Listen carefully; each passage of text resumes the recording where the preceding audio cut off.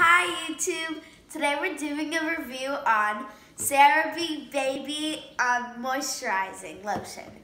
We're I'm an undercover chemist's cousin, and for the family day, long weekend, the fam um, we're spending time together. This product is fragrance, gluten, paraben, and sulfate free. Okay, that was good.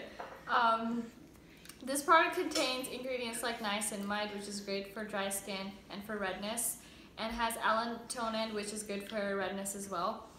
I've not used this for all over my body. I've restricted the use just for my face, and I find that this is far more moisturizing in the winter times than CeraVe PM. So I gravitate towards this more. It also has hyaluronic acid and CeraVe's three different um, ceramides that are present in other CeraVe moisturizing lotions as well.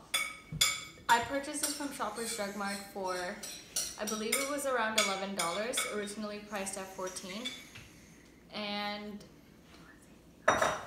yeah, it feels good on your skin.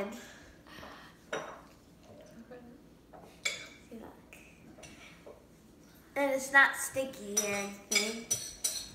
It feels really good. It feels really good. All we have for today. Bye. Bye.